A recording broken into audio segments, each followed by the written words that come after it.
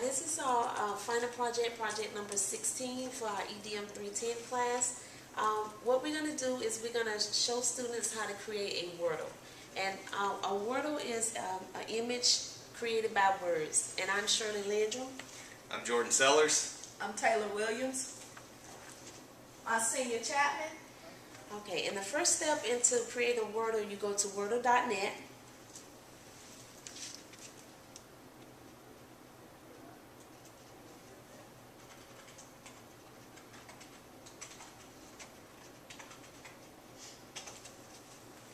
And the next step, you're going to hit create.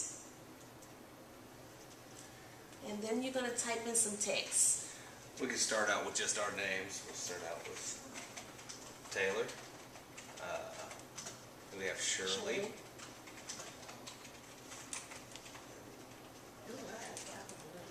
I think you have the caps locked down.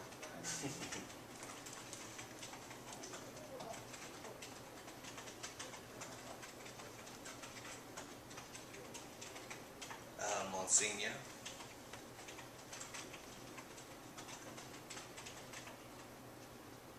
And I'm Jordan.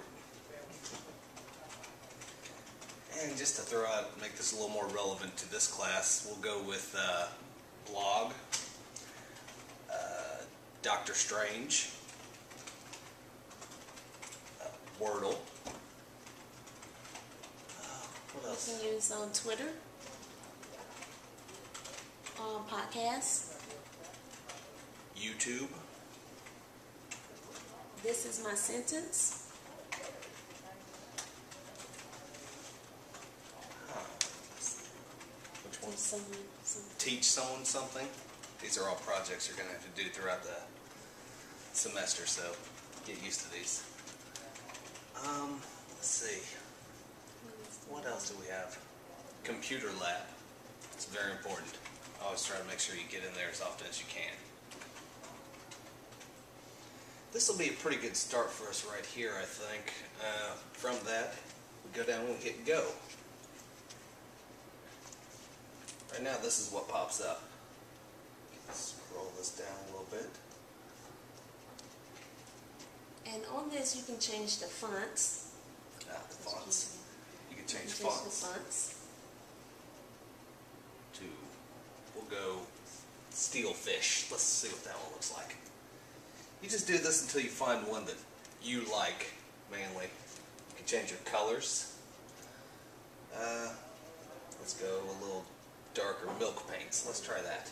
The milk paints. down there. So, pretty much you just go through this until you find a design and a color that you like. And then from that, we can scroll down. And you randomize till you find one that really suits you. This one's more stylish. There's so many different ways you can do this. You can keep, keep randomizing until you find one that you really, really enjoy. Uh, let's hit one more. Let's see what we got. Uh, one more. One more. See, now that one's exciting. It reminds me of the Brady Bunch. And, well, I'm old and I like that sort of thing. Uh, so then you would save this to your public gallery. Title it Wordle. Username anonymous. Or, in that case, you'd probably put in your blog address. And you would hit OK.